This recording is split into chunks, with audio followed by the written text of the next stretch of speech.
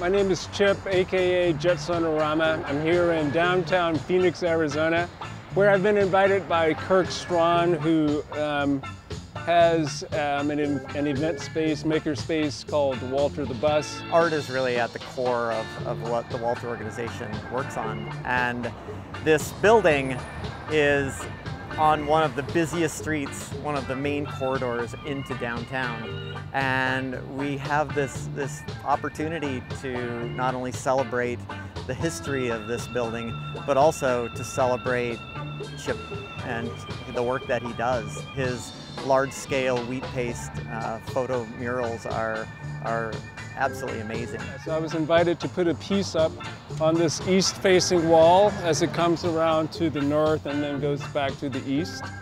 And the piece that I'm going to put up is from the Navajo Nation where I've been working the past 33 years. It's a little hard to see what this piece is going to be, but um, on his hands is written believe. Since the pandemic and the period of social unrest, um, I think that those two elements probably drove our ultimate decision as to um, believe, which is the name of the piece that's going up. This piece is also a collaboration with Dene poet Esther Belin, and she did a poem called Believe. And it was actually that poem, I think, the, the combination of poems and the imagery is what drew Kirk to the piece. When I was invited to be part of this project with Chip, he did show um, some of the images that he was planning to use. And so right away, that belief prompted the poem. She wrote a piece that anticipates, that imagines the world post-pandemic, you know, what, when things are back to, not necessarily back to normal, but, you know, we don't have to be as guarded um, in our interactions and worrying about this virus. So it's an uplifting and positive piece. The message and the emotion that I take from, from this piece is one of hope and one of moving forward. The emotional impact of the pandemic, the emotional impact of injustice and isolation really penetrates each person. So it, it's more of a humanity concern and a, a plea for people to draw upon, you know, inner strength that they might not even have known they have. As a physician who's been in this community on the Navajo Nation for 33 years, it's been especially difficult. Um, you know, the months of May and June were challenging in that that's when the Navajo Nation had the highest case, case positivity rate per 100,000 of any place in the world.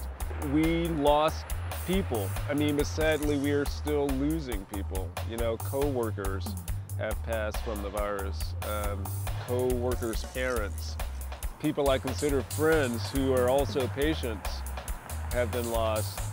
So it's been really rewarding uh, for me personally to get to go out and you know try to make beautiful art. I hope people take that word and start to apply it to this time that we're in. And it's a good time to believe in something. And I think that uh, there's such need for healing right now um, that it might take a little belief to uh, kind of get the ball rolling. Believe. Afterward, we will get up. All together.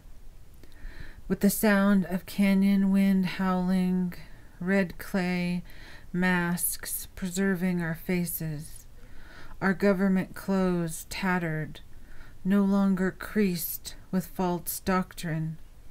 The pressurized, steamed language escapes from the pores in our skin.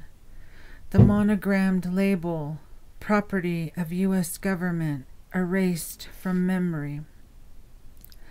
Our teeth, sweat, saliva, fingernails, strands of hair recompose as the daughter of first man and first woman. The four support pillars reconfigure the directional mountains. The zenith and nadir bolt lightning into our backbone. The stone knife in our hand slays monsters. The sun rays fasten us snugly to Nahasdzáán. The rainbow tethers a shield over us. All together, the intertwined winds breathe again.